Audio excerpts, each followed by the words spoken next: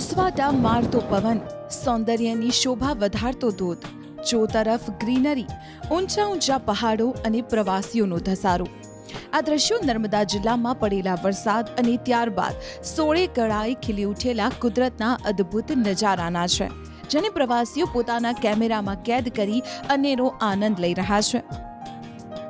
અહીંયા આજુબાજુનો સિનેરિયો છે ને બહુ સારો લાગે છે કે બહુ નેચર ગ્રીની થઈ ગયું છે. દરવાજા પણ છે તો કંઈ નહીં પણ પાણી દેખાય સારું લાગે છે.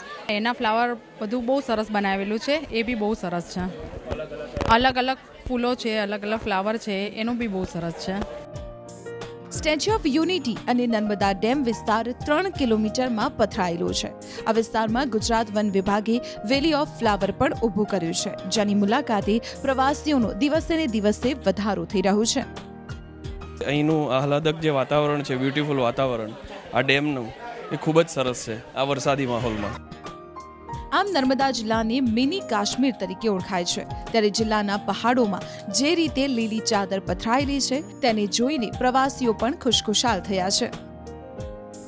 નર્મદા જિલ્લામાં હાલ વરસાદ પડી રહ્યો છે. ત્યારે જે નર્મદા જિલ્લાના જે સાતપુડાની ગિરિમાળાઓ છે, તે અત્યારે ગ્રીનરીથી ભરપૂર થઈ ગઈ છે. જેનું સૌંદર્ય છે, જે સોળે કળાએ ખીલી ઉઠ્યું છે. ત્યારે અહીંયા નર્મદા જિલ્લામાં જે સ્ટેચ્યુ ઓફ યુનિટી બનાવવામાં આવ્યું છે અને તેની બાજુમાં વેલી ઓફ ફ્લાવર પણ બનાવવામાં આવ્યું છે.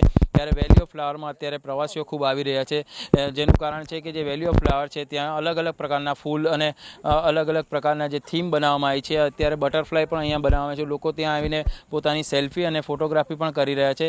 એનું કારણ એટલું છે કે જે નર્મદા જિલ્લાની જે ખાસિયત છે કે જે નર્મદા જિલ્લો એક મિની કાશ્મીર તરીકે ગણાઈ રહ્યો છે. ત્યારે નર્મદા જિલ્લાને નર્મ જે વરસાદનો માહોલ હોય છે તે સમયમાં નર્મદા જિલ્લો પોતાની જે કુદરતી સૌંદર્ય છે તેને તે ખીલી ઉઠે છે તેને કારણે અહીંયા પ્રવાસીઓ ખૂબ આવી રહ્યા છે અને આ જે કુદરતી સૌંદર્ય છે તેની મજા પણ માણી રહ્યા છે. Vishal Pathak, TV nine, Narmada. TV nine ગુજરાતીની યુટ્યુબ ચેનલને સબસ્ક્રાઇબ કરો અને બેલ બટન જરૂરથી દબાવો, જેથી દરેક વિડીયોના નોટિફિકેશન તમને મળતા રહે.